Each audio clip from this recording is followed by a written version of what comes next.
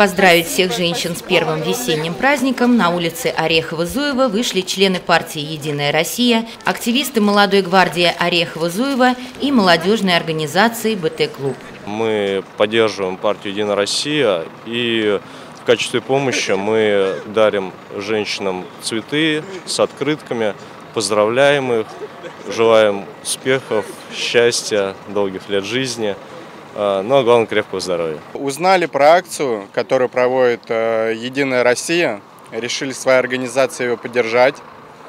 А, слышали, что акция уже проходит не первый год. Собрались с ребятами и хотим поздравить э, девушек, женщин, бабушек с этим прекрасным праздником. Праздником вас. Спасибо, девушки. Спасибо, мальчики.